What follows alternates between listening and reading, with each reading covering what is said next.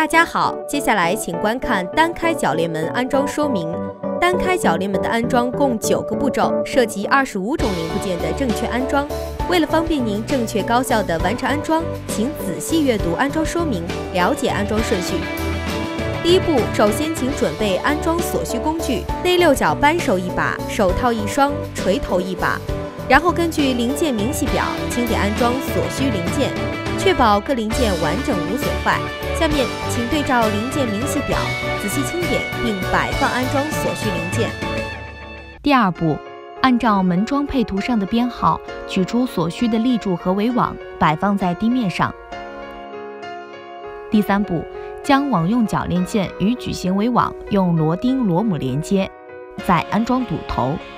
第四步，固定端立柱先安装下卡环，然后再安装门用铰链件。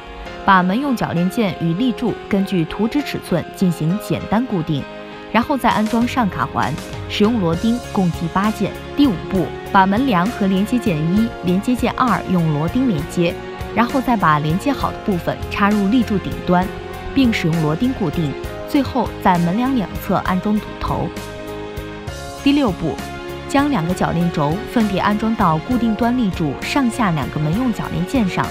再安装矩形围网，剩余一个铰链轴安装在中部网用铰链件上，最后锁紧门用铰链件。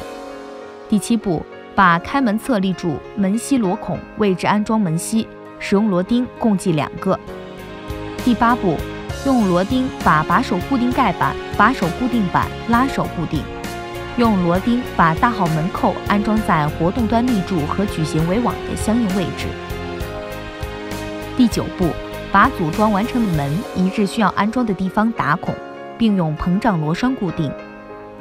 注意事项：门用铰链件安装定位时需注意，两个在网用铰链件下方，一个在网用铰链件上方，以确保门用网片不可随意拆卸。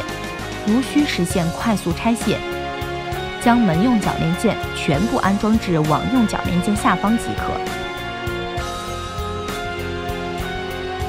以上就是单开铰链门的正确安装步骤，朋友们记住了吗？